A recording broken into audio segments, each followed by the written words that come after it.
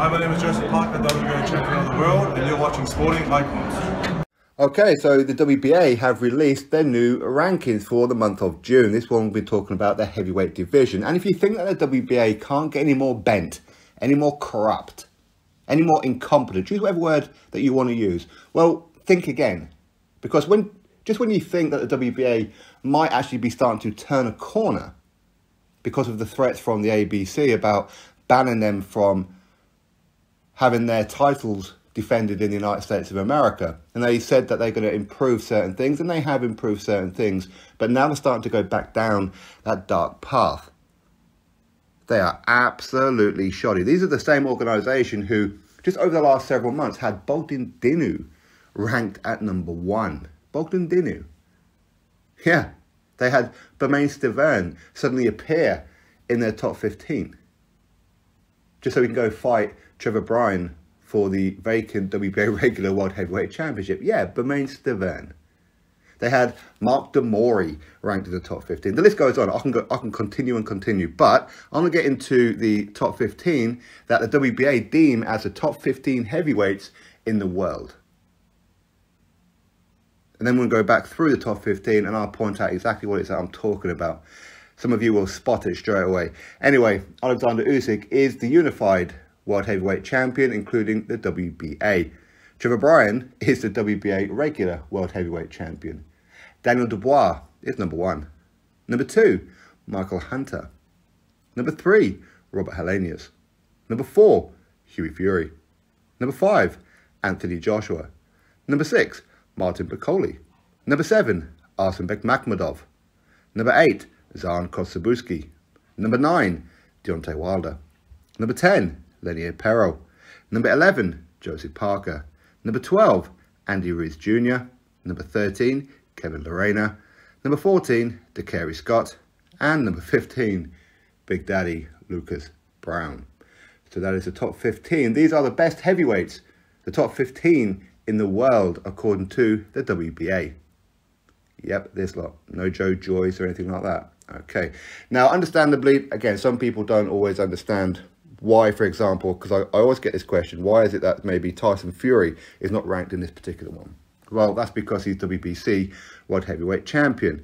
Now, dropped out this month is Tony Yoka. Of course, Tony Yoka, he lost by a wide point decision against Martin Bakole. I'll say wide because we all had it wide, except one of the judges, right? Hey, what can you do? But he's been dropped out of the top 15.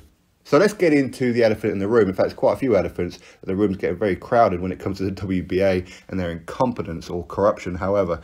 Number 15, Lucas Browne. Now, he's just been inserted into the top 15 from nowhere. Lucas Browne, if you just look at, say, his last four fights, got stopped by Dave Allen. He defeated a John Hopoate, however you say, but um, I mean, this is a guy who was 12 wins and 6 defeats. Then he gets knocked out in the first round by a rugby player called Paul Gallen. Last time out in December, mind, he defeats over seven rounds a guy called Faiga Opelu, who had 14 wins, two defeats and a draw. Now, this weekend, in Australia on the George Kambosos Devin Haney card, he will be taken on Junior Fa. Now, if he defeats Junior Fa, okay, fair dues. You can kind of see maybe he might just sneak into a top 15 potentially. Who knows? Listen, I'm not discrediting Lucas Browne, okay? I like Lucas Browne. I do. He's got a huge punch on him, no doubt. Can't take a punch. And he's a fun heavyweight. He is. Now, he is in his, uh, was he mid 40s now, or something like that. But to rank him in the top 15 from nowhere, is ridiculous. Why have they done that? Why? For what reason? I mean, um, is there some kind of belt on the line? Oh yeah, there is. For the WBA Oceania heavyweight title and the vacant IBF Australian heavyweight title as well. Okay, listen, heavyweight titles in Australia, heavyweight titles in Britain, heavyweight titles in America, heavyweight titles in Germany, whatever, don't mean shit. They don't. So does that warrant for him to be ranked in the top 15? Now, if they had Junior Fa in there, even though he did lose to a former WBO World Heavyweight Champion, Joseph Parker, last time out, okay, kind of, maybe. But not Lucas Browne. Not Lucas Browne. Is he going to defeat Junior Fa? You wouldn't put your house on it now, would you? You really wouldn't.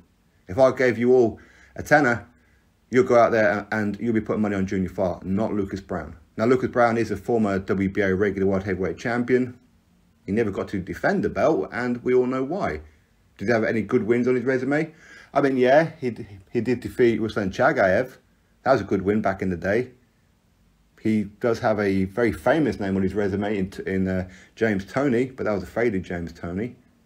Anyway, let's move on from that one. I told you the WBA are absolute wankers. Um, they have boosted Lenier Pero up by four positions. So Lenier Pero is now their number 10 in the world. Lenier Pero, a guy with only seven fights. Seven. That's it. Seven. He hasn't fought since last month, but yet somehow he's been boosted by four positions. I wonder why. Is money exchanging hands somewhere along the lines? You would certainly imagine so. You really would. Now, Martin Bakole, up at number six. It, listen, that was a good fight. Good dominant performance over Tony Yoka. I can agree with that. Why not? He's earned it. He has earned it. No doubt whatsoever. But then, of course, we can look at other people like Dacarree Scott. He's only had seven fights too. Now, he was freshly inserted in the top 15 last month, and he's continued to be ranked in there.